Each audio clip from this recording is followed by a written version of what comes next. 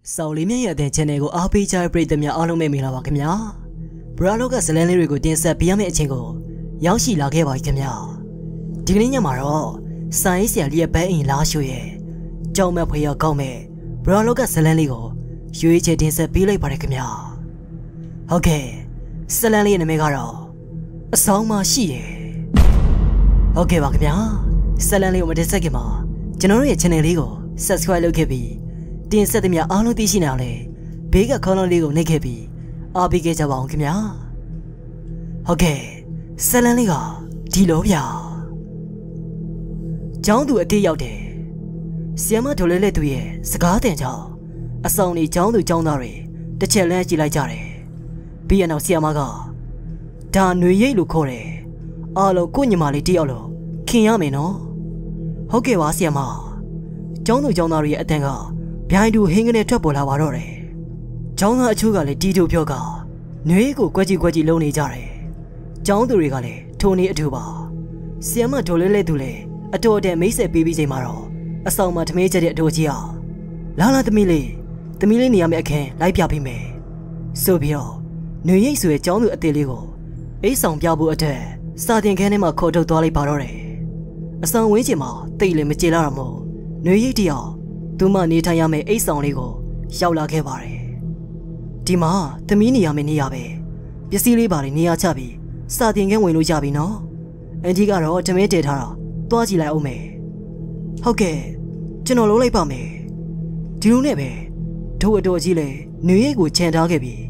အခန်းထဲမှာခတ်တုတ်တုတ်ထွက်သွားလိုက်ပါတော့တယ်။မန်းလေးသူတွေဖြစ်တဲ့နေရိတ်က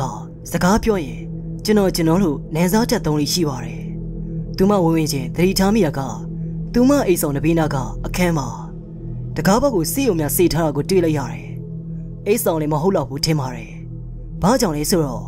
အဲ့ဒီအခန်းထဲမှာကဘသူမှမတွေ့ရသလို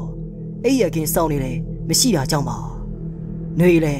အိတ်ရတွေကိုတေချာခင်းခေါက်ပြီးရတော့စာတင်ငန်းဝင်ဖို့အိတ်ဆောင်အတွင်းမှာထွက်ခဲ့လိုက်ပါတော့တယ်။ဟင်မမျော်လင်းတဲ့အရာတခုကသူမကိုစီးကြိုနေခြင်းပါ။ စောစောကဘယ်သူမှမရှိတဲ့အခန်းထဲမှာအမျိုးသမီးတယောက်ကြောပိထိုင်နေရကိုအမက်မထင်တွေ့လိုက်ရတော့တယ်။မွေးရပါဆက်စုတတ်တဲ့အချင်းရှိတဲ့ຫນွေရိတ်မှာတော့အခန်းထဲကိုဝင်ပြီးတော့ဆီယမဝင်ခွင့်ပြုပါ။ຫນွေရိတ်မှာတော့ဘာသာပြဆီယမအထင်နဲ့ပဲဆီယမလို့ခေါ်ကခွင်တောင်းလိုက်တော့ကြောပိထိုင်နေအမျိုးသမီးကိုတွေ့လိုက်ရပါတယ်။အဲ့ဒီအမျိုးသမီးမှာအသက်35ကျော်ကျော်ခန့်ရှိပါလိမ့်မယ်။ຫນွေရိတ်ထင်မိသလိုပဲ ဘာသာပြဆရာမတယောက်လည်းဖြစ်ပါတယ်အေးသမီးဝင်းဝင်းချိုးတာလာတဲ့မျက်နှာထားနဲ့အထင်နွေရိတ်ကိုဖော်ရွေစွာခွင့်ပြုလိုက်ပါတယ်ပြီးမှနွေရိတ်ကဆီယမနာမည်ကဘလို့ခေါ်လဲဒေါ်အေးတီယာဝင်းလို့ခေါ်တယ်သမီးလေးရဲ့သမီးကအဆောင်သူအစ်စ်လားဟုတ်ကဲ့ဆီယမပြီးရနောက်နွေရိတ်ကပဲဒါနဲ့ဆီယမကစာမတင်ဘူးလားနွေရိတ်ရဲ့ရုတ်တရက်မေးလိုက်တဲ့အမေကြောင့်အေးဆီယမလေး ညနာမတိမတာညှိုးငယ်သွားပါတော့တယ်။ဒါပေမဲ့နှွေးသတိမထားမိပါဘူး။ဟုတ်တယ်။သမီးရဲ့ဆရာမစမတင်တာ6လကျော်နေပြီ။ဟုတ်လား။ဆရာမကျွန်တော်ကဒီနေ့မှဒီကိုပြောင်းလာတာ။အော်ဒါကြောင့်ဘာမှမသိသေးတာထင်တယ်။ဆရာမကြီးပြောလိုက်တဲ့စကားမှာတစုံတရာကိုအတိတ်ပဲပေါ်ဆောင်နေပြီမလဲ။ငယ်ရွယ်သေးရဲ့နှွေးရိပ်အဖို့တော့နားလေဖို့ခက်ခဲနေပါလိမ့်မယ်။ဟုတ်တယ်ဆရာမ။ဒါနဲ့ဆရာမ ဆီယမကဘယ်မှနေရလဲသူမကမေးလိုက်တော့ဆီယမလေးပြတင်းပေါ်အပြင်ဘက်ကိုလင်းညိုးထုတ်ပြရဲ့အဲဇီဒီပင်ကြီးရှိတဲ့အိမ်မဲသမီးဟုတ်လားအဲ့ဒါဆီယမရဲ့ဇီဒီပင်လားယူစားလို့ရလာရင်ကျွန်တော်ကဇီဒီဆိုရင်အရန်ကြိုက်တာရပါလေသမီးရဲ့ယူစားပါຫນွေရိတ်ကလူရည်လဲတယ်အခုမှခင်မင်းနဲ့ဆီယမလေးကိုတချီတဲ့အပိုင်ပေါင်းပြီးဇီဒီပါတောင်းစားသေးတယ်သဘောကောင်းတဲ့ထိုဆီယမကလည်းသူမကိုခွင့်ပြုပါတယ်ဆီယမ ကျွန်တော်စာသင်ခန်းဝင်အောင်မယ်တော်နေကြအဆောင်မှုစုနေမှဖြစ်အေးအေးသမီးတော်တော်နှွေးတယောက်ဆီယာမာလေးကိုနှုတ်ဆက်ကအဲ့ဒီအခန်းထဲမှာထွက်ခဲ့ပါတော့တယ်ထို့ချိန်မှာကျောင်းသူကျောင်းသားတွေကိုအနားပေးချိန်ကိုရောက်ခဲ့ပါပြီကျောင်းသူကျောင်းသားတွေလည်းအေးချင်ပြအောင်ကော်ဖီတောက်ဖို့မိမိအိတ်ဆောင်စီကိုပြန်လာနေကြတယ်နှွေရည်ရည်တငယ်ချင်းဝင်းတွေကစောစောဆီယာမာလေးအေးတီယာဝင်အိတ်ဆောင်မှာထွက်လာတဲ့နှွေရည်ကိုအထူးအဆန်းတပွဲကြည်ရင်ဟဲ့နှွေရည် ဘာတွေဝင်လို့နေရလဲ။အော်ဒီတိုင်းခဏဝင်ကြည့်ရပါ။နောက်ဆိုမဝင်နဲ့ကြလား။ခဘသူမှမဝင်ရဘူးအဲ့ခန်းထဲကိုဝင်းတွေအမူအရာကစိုးရင်ထိလဲမှုနဲ့အတူတခုခုအလိုမကျတဲ့ပေါ့နှွေးနဲ့ဝင်းတွေမှာငငယ်လေးကလေးကအတူတူပေါင်းသိခဲ့တဲ့တငယ်ချင်းတွေဖြစ်ကြပါတယ်ဟင်ဘာလို့လဲဘာလို့လဲမမေးနဲ့နေနောက်တော့တီးလိုက်မယ်ဝင်းတွေမှာလေအနားလေးပေးခြင်းကနဲတော့မဟုတ်တူတူသာပြောလိုက်တော့တယ် နှွေးရဲ့စိတ်ထဲမှာတော့อืมဆင်မအေးဒီယာဝင်းနဲ့ပြဿနာတက်ထားကြလို့ထင်တယ်လို့တော့တွေးရင်နဲ့ဒီကိစ္စကိုမင်းမပြောင်ပြောင်နေလိုက်တော့တယ်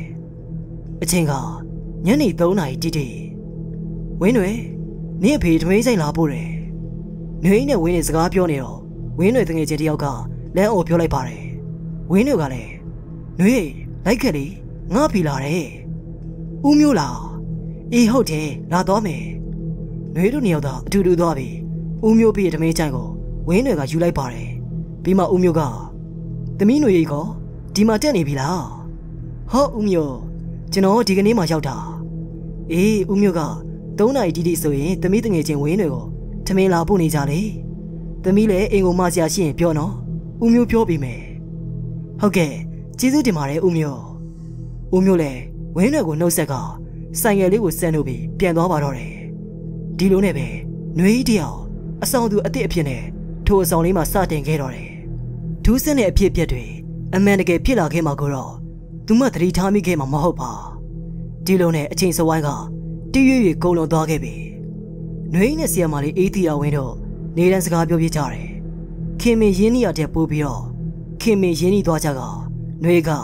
ဆီယမလေးအေးတီယာဝင်းပေးတဲ့စီးသီးတွေကိုဝင်းနဲ့အပါဝင်အခြားသောတငယ်ချင်းတွေကိုလည်း ကြွေးလေးရှိပါတယ်ဝင်းတွေတို့တွေဘာကြောင့်သူမကိုဆီယမလေးအေးတီယာဝင်းအခန်းထဲကိုဝင်တာမကြိုက်တာကိုတော့နှွေးဆီယမလေးကိုပြန်မမီးဖြစ်ပါဘူးဘာကြောင့်လဲဆိုတော့ကိစ္စကြီးကြီးမားမားတစ်ခုဖြစ်တာမဲဆိုရင်နှွေမေးပါကဆီယမလေးစိတ်မကောင်းဖြစ်လိမ့်မယ်ကိုသိရကြောင်းပါနှွေရဲ့အဆောင်ရောက်တာလေးလာရှိခဲ့ပြီမကြခင်တက္ကသိုလ်ဝင်တဲ့စာမွေးကြီးကိုဝင်းရောက်ပြေစုချရတော့မယ်မဟုတ်ပါလားဒီနေ့မှာတော့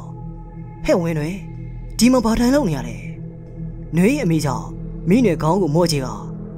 ငါဘေးအခုထိထမင်းလောင်ပို့သေးဘူးဟာအော်နင်းရလေလာပို့မှာပေါ့မဟုတ်ဘူးလေပုံမှန်3နိုင်ဆိုငါဖေဟာထမင်းချိန်လာပို့နေကြခု4နိုင်တောင်ထိုးနေပြီဟာခဏလေးစောင့်ကြည့်လိုက်ပါဦးဟဲ့မီးတွေဘာတွေပြက်လို့ထမင်းတက်နောက်ကျတာဘာညာဖြစ်မှာပေါ့နင်းစားရင်ငါထမင်းအတူတူအရင်စားရအောင်လေຫນွေပြောနေတော့မှရှိသေးတယ်ဝင်းတွေနင်းဖေလာတယ်တွေ့လားဝင်းတွေ ငါပြောတာပဲလာမှာပါဆိုစိုးစိုးစိတ်ပူနေဝင်းတွေအခုမှစိတ်ယူသွားပုံရပါတယ်သူ့ဘေရှိရစီကိုအပြေးလေးထွက်သွားပါတော့တယ်။နှွေလေဝင်းတွေအနောက်မှနေပြီးဦးမျိုးစီကိုအတူတူလိုက်ခဲ့ပါတော့တယ်။ဟင်ဖေဖေဘာဖြစ်လာလဲ။အေးသမီးအဖေဆိုင်ကမောက်လာတာ။ဟင်အဖေဘာဖြစ်သွားသေးလဲ။ဘာမှဖြစ်ပါဘူးသမီးရဲ့ရော့ရော့ထမင်းကြိုင်။နှွေသတိထားမိလိုက်တာက ထမင်းကြိုင်လေးမှာပိန့်ရှုံနေပါတယ်။မင်းပေါ်လေဆိုင်ကမောက်လာတာပဲဒါတော့တော့ရှိမှာပါလေလို့သာတွေးနေစင်မှာဦးမျိုးပြီးရဲ့ထမင်းချိုင်ကိုဝင်းတွေကယူလိုက်တော့တယ်ဟင်းတွေတော့မမောက်သွားပါဘူးသမီးတော့ကောင်းကောင်းစားလို့ရပါတယ်ကြိုင်ကလေးကတော့နည်းနည်းပိတ်သွားတယ်မနေ့ပြန်မှာအဖေချိုင်းအစ်နဲ့ထည့်လာမယ်ဟုတ်ပြီလားဟုတ်အဖေ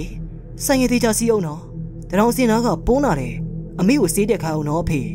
အမေနဲ့နော်အမ သမီးသာစာသေးချလို့စာမေးပွဲအောင်မဖြစ်မယ်နော်ဟုတ်ကဲ့ပါသမီးအမက်ကောင်းကောင်းနဲ့အောင်စူးစမ်းပါမယ်သမီးဖြစ်သူရဲ့စကားတန်ကိုကြားရတော့ဦးမျိုးမျက်နှာပေါ်မှာစိတ်မကောင်းခြင်းဆိုတဲ့အရေးအချောင်ကိုနှွေးရဲ့အတိုင်းသားမြင်နေရပါတယ်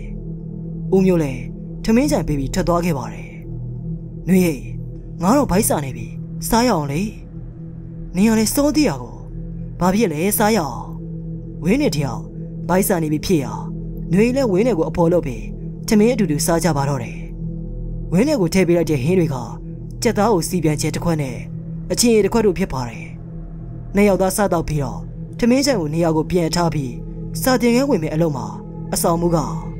ဝင်းွယ်တမိအမိလာတယ်ကွယ်တခါမှအဆောင်မရောက်ဘူးတဲ့ဝင်းွယ်ရဲ့အမိခင်ဖြစ်သူဒေါ်ညုံမေရောက်လာတယ်ဆိုတော့ဝင်းွယ်အံ့ဩသွားပါတယ်အမေအမေဘာဖြစ်လို့လဲနှွေလေဝင်းွယ်နဲ့အတူပါသွားခဲ့တယ် ဒေါ်ညုံမေမှာတော့မျက်ရည်နဲ့မျက်ခွက်စကားပြောဖို့ခစ်တာအရှင်ယူပြီးမှဝင်းွယ်နင်းအဖေနင်းကိုထမင်းချိုင်လာပို့တော့လမ်းမှာကားကြိုက်ခင်ရတော့နေရတဲ့ပွဲချင်းပြီးဆုံးပြီဟေးရှင်နေနဲ့ဝင်းတွေအာမေရိတန်တွေပြန်ယူထွက်သွားကြပါတော့တယ်ဝင်းတွေနေရာမှာပဲဒူးတော့ချကတရှုံရှုံငိုနေမိပါတော့တယ်နင်းကိုထမင်းချိန်လာဖို့တဲ့လမ်းမှာပဲ၃နိုင်ခွဲလောက်တော့လူနာတင်ကသူ့ကိုလာခေါ်သွားပြီ အဲ့ဒါမို့နင်းကိုလာခေါ်တာအဖေအဖေဆုံးပြီ၃နိုင်ခွဲလောက်ကလူနာတင်ကခေါ်သွားပြီဆိုတဲ့စကားကြောင့်နှွေးအကောင်းနဲ့အတွေးတကူဒိန်းကနေဝင်လာပါတော့တယ်ဒါဆို၄နိုင်တုန်းကထမင်းလာပို့တဲ့ဦးမျိုးကဘာတူလဲသူမကိုတွေးလိုက်ရတာကဦးမျိုးမှာဦးမျိုးအစ်စ်ပါညွေပြေးကစိုးစိုးထမင်းကြိုင်ထားတဲ့နေရာကိုပြေးကြည့်လိုက်မိပါတော့တယ်စိုးစိုးကမမဲရထားလိုက်တဲ့ဝင်းနဲ့ထမင်းကြိုင်ကဘဲကိုရောက်တော့မှမသိ ပျောက်ချင်းမလားပျောက်သွားခဲ့ပါပြီဝင်းနဲ့ကိုထမင်းကြိုင်လာပို့တာဘာတူလဲဆိုတဲ့အတွေးကညွေကိုတက်စင်မေးကုန်ထုတ်နေပါတော့တယ်ခဏကြာတော့အဆောင်မှုအကျိုးကြောင့်ပြောကဝင်းနဲ့ကိုဒုံညိုးမေကအင်းကိုခေါ်သွားပြီကိုတီးလိုက်ရပါတယ်အမလေးကိုမျိုးရဲ့ကျမတို့သားမိကိုထားခဲ့ပြီလားဒေါ်ညုမေငိုတန်ကြီးဟာအရာရာကိုလွှဲချုံသွားတယ်လို့အာသူပါပူပူရောက်နေကြတဲ့လူတွေရဲ့တိတ်ဆိတ်ခြင်းကိုပါထိုးခွဲသွားပါတော့တယ် ဒီနေ့ကအိုးမျိုးအာသူဘပုံမဲ့နေလေးဖြစ်ပါတယ်အဆောင်မူးကလည်းမိမိအဆောင်သားတယောက်ရဲ့ဖခင်ဖြစ်တာမို့အာသူဘလိုက်ပါပို့ဆောင်ပေးကြဖို့နွေတို့ကျောင်းသူကျောင်းသားတွေအားလုံးကိုဒေါ်ညုံမေအင်ကိုခေါ်ဆောင်ခဲ့ပါတယ်ထိုကျောင်းသူကျောင်းသားတွေကြားထဲမှာတခုခုတစုံတရာကိုစူးစမ်းနေလို့သူကနွေရိပ်ပါဝင်းတဲ့ခါတော့သူမအဖေရဲ့ရုပ်ကလေးနဘေးမှာထိုင်နေတရှုံရှုံငိုနေပါတယ်နွေကတော့ဝင်းနွေအိမ်တစ်ခုလုံးကိုကြီးကန်းတောင်းမောက်ရှောက်ကြည့်နေပါတယ် ဟင်နှွေမျက်လုံးအစုံကမိဖို့ကြောင့်ဘေးကပကံဆေးစင်ဘောကိုရောက်သွားနေတဲ့ပြိုင်နဲ့ဟင်းလို့အတန်ထက်သွားပါတော့တယ်မြင်လိုက်ရတဲ့အရာကဒါဦးမျိုးဦးမျိုးဝင်းတွေကိုလာပို့ခဲ့တဲ့ထမင်းကြိုင်ပဲထမင်းကြိုင်လေးမှာလိန်ပိန်လို့ကြည်မကောင်းအောင်ပဲရှိနေပါတယ်သူမအရှုံးမပေးသေးထိုထမင်းကြိုင်ကဝင်းနဲ့ထမင်းကြိုင်မှာဟုတ်ပါမလားဆိုတဲ့အတွေ့ဟုတ်ကိုဟုတ်နေပါပြီဆိုတဲ့အတွေ့နဲ့အတူ အတွေ့လွန်ဆွဲနေပါတယ်မထူးဘူးဆိုပြီးနှွေးထိုသမင်းကြိုင်ကိုဖွင့်ကြည့်ဖို့ကြိုးစားပါတော့တယ်အမလေးဖះဖះမြင်လိုက်ရတဲ့ထမင်းနဲ့ဟင်းတွေကနှွေးကိုသွေးပြက်ကြောက်သွားစေတော့တယ်ကြက်သားစီပြန်ဟင်းတဲ့အချင်းအချက်အဲ့ဒီနေကသူ့နဲ့ဝင်းတွေအတူတူစားခဲ့တဲ့ဟင်းနမဲဒါပေမဲ့အခုမှတော့ခြေရလဲရမပြတ်တိုးနေပါတယ်သူမှမစင်းစားတတ်တော့ဟိုကလေးတွေ သွားမယ်သွားမယ်အဆောင်မှုအတန်းကြောင့်ຫນွေကောအခြားသောចောင်းသူចောင်းသားတွေပါဝင်းတွေအဖေအာသူဘပို့ဖို့စတင်ထွက်ခွာကြပါတော့တယ်ဂျေးစီတန်တနောင်နောင်နဲ့အတူຫນွေတို့အာသူဘပို့တဲ့အဖွဲ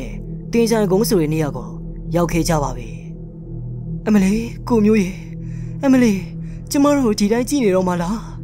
စိတ်ချလို့ထားခဲ့ရလားကိုမျိုးရေဦးမျိုးကိုမြေပိုးတဲ့အချိန်မှာကဒေါ်ညို့မေကတဲတဲ့ဆိုငိုနေပါတော့တယ် ကြားရသူအဖို့စေမကောင်းဖြစ်ပွဲနှွေကသူမဝက်တီအတိုင်းမြေဖိုးတာကိုမမြင်ရတာမို့ဆက်ဆူချင်းစောနဲ့မြေပုံလေးတစ်ခုပေါ်ကိုတက်ကကြည်နေပါသေးတယ်ဒီကတီတာဆိုရဲ့ចောင်းသူတွေတယောက်က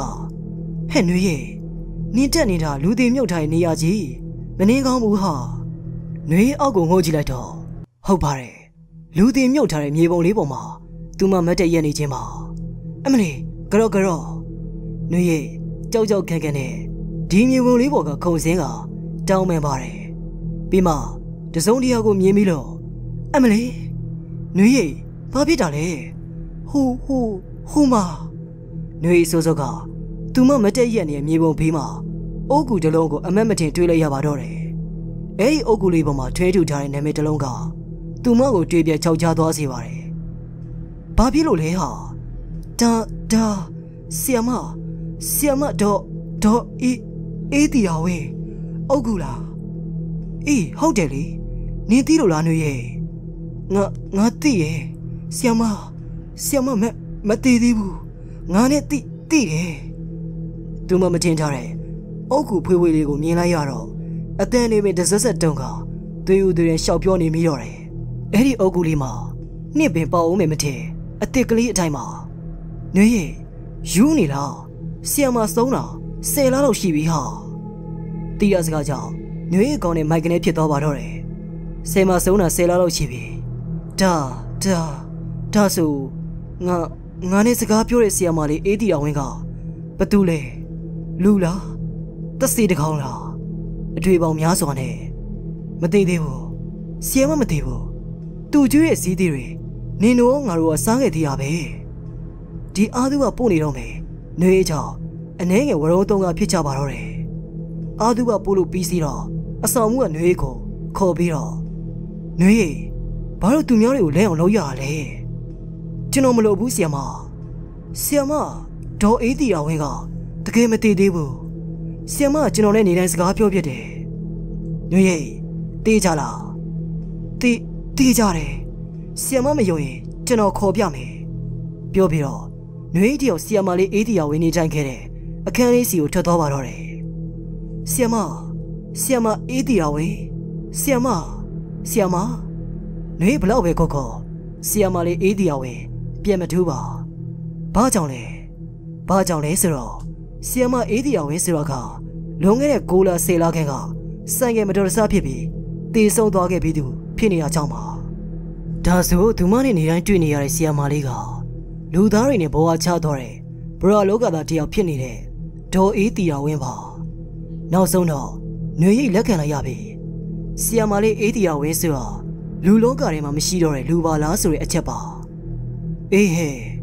နင်တို့မစိမ်းကားကြနဲ့နော်ဖုန်းလေးဆက်ကြအောင်အေးပါဟဲ့ဟဲ့အော်တိုလေးရေးပေးခဲ့ကြအောင်အမတ်တရပေါ့စာမေးပွဲကြီးပြီးတော့အားလုံးလမ်းခွဲကြရတော့မယ်အားလုံးကိုယ့်ရင်ကိုပြန်ကြရတော့မယ် ခွဲခွာသွားကြရတော့မယ်နှွေကအေးရခင်းတွေကိုကြကြနနာခောက်ခါတိတ်နေပါတယ်မကြပါဘူးအားလုံးအစီအီနဲ့ပြန်သွားကုန်ကြပါတယ်နှွေတယောက်သေးတာကိစ္စတွေကိုလက်ဆက်တက်နေတော့မယ်ခဏအကြာအကုန်ပြီးစီတော့နှွေအခန်းထဲမှာထွက်ခဲ့လိုက်ပါတော့တယ်ဟင်းနဘေးအခန်းထဲမှာဆီယမအေးတီတော်ဝင်ရှိနေတော့မှာသူမရဲ့အမူအရာကဝမ်းနေမှုတွေနဲ့အတူမျက်ရည်တွေစီးကြကနှွေးအားစေထားတဲ့တကားပေါက်လေးမှာ လဲကြည့်နေပါတယ်။နှွေးလည်းတကားပေါက်လေးကိုအသာတွန်းပေးလိုက်ရင်လည်းဆီယမကိုအမြပေးဝေပါတယ်။အမြအမြအမြရပါစေ။တာဒုတာဒုတာဒု